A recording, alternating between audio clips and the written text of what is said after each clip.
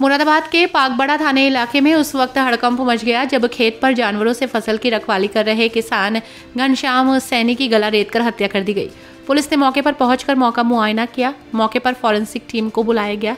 पागबड़ा के बड़ा मंदिर सैनियों वाली बस्ती का रहने वाला घनश्याम सैनी ठेके पर ज़मीन लेकर सब्ज़ी की फ़सल उगाता है। घनश्याम सैनी जानवरों से फ़सल की रखवाली करने के लिए खेत पर सोता है। बीती रात किसान घनश्याम खेत पर फ़सल की रखवाली करने के लिए गया था। सुबह जब घनश्याम घर नहीं लौटा तो परिजनों ने उसकी खोजबीन शुरू की। फ़ोन मिलाया तो उसका फ़ोन बंद मिला। परिजन खेत पर पहुँचे तो घनश्याम सैनी का शव पड़ा था। वो भी खून से लथपथ। ये सब माजरा देखकर परिजनों के होश उड़ गए। मौके पर पहुँची पुलिस ने शव को पोस्टमार्टम के लिए भेज दिया है। साथ ही मौके पर फॉरेंसिक टीम को बुलाया गया है। फॉरेंसिक टीम ने मौके पर साक्ष्य उठाए हैं और एसपी सिटी का कहना है कि परिजनों ने अज्ञात के खिलाफ तहरीर दी है। घटना के अनावरण के लिए टीमें लगा दी गई हैं। जल्द ही घटना का खुलासा होगा। साढ़े खेत पर सोने जाते थे कभी कभी लील गाय जानवर दिख करते हैं, गोभी खेती है सब्ज़ी। तो ये रहाने जाते थे कभी कभी सोने चले जाते थे, कभी घर पे सो जाते थे। तो रात ये साढ़े बारह बजे घर से, बेटे से बैटरी वोटरी ले गए, सोने के लिए गए। और सुबह जब उसने पाँच बजे, साढ़े पाँच बजे ये चाय पीने है, बड़े मंदिर पे एक दुकान है, चाय की, हो खेत पे वहाँ जाते थे। जब वो नहीं आए तो ये लड़के ने फ़ोन करा इनके ये पापा का फ़ोन तो उस पर बैल जा रही है, फ़ोन भी नहीं उठा। तो ये लड़का देखने जाता है, भतीजा हमारा छः बजे।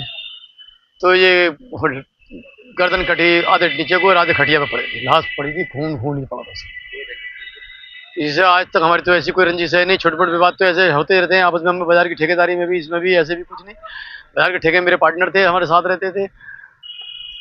मगर कोई ऐसी गंभीर को ऐसी आज तक कोई दुश्मनी थी नहीं। कभी बच्चे एक लड़का ही है, बस अजय पोती पोते हैं चार इनके। लड़का एक है। और पुलिस तो अज्ञात के खिलाफ मुकदमा दायर कर रही है। अब देखो क्या छानबीन करती है, क्या करती है, क्या नहीं होता। और मैं तो ये चाहूँ जल्दी जल्दी इसका खुलासा करें। मैं तो यही चाहूँगा जल्दी से जल्दी इसका खुलासा हो, जैसे भी हो, किसी भी हो, कुछ भी हो।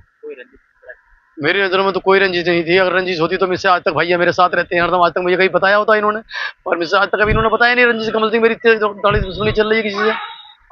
जिसके दर मारा है ये तो इतने दुश्मन ने मारा है कि तेज कोई बिगड़ वाला दुश्मन है। जो गोद गोद के मारा है तेज से काटा है तेज से फड़ा है, बेहिसाब। देखिए, आज मॉर्निंग में थाना पगबड़ा के एस को सूचना मिली कि वही पगबड़ा के रहने वाले एक व्यक्ति थे, जिनकी उम्र लगभग पैंसठ साल थी। और वो कल रात अपने खेत पर गए थे और उसके बाद मॉर्निंग में जब घर परिजनों ने उनको कॉल किया, उधर से कोई रिस्पॉन्स नहीं मिला और उसके बाद लोगों ने जाके देखा तो वो गंभीर अवस्था में पड़े हुए थे। सूचना पे तत्काल हमारी जो फ़ील्ड यूनिट की टीम है plus S H O C O सभी मौके पर गए। सभी अधिकारी पहुँचे और उसके बाद देखा गया तो वहाँ पता चला कि उनकी धारदार हथियार से उनकी हत्या की गई है।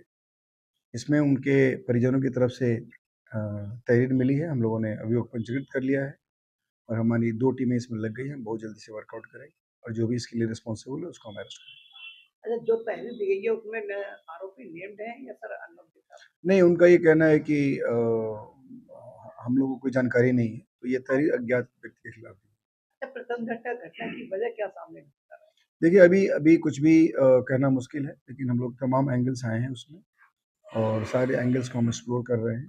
परिजनों से पूछताछ की जा रही है और उसके बाद हम बहुत जल्दी इसका वर्कआउट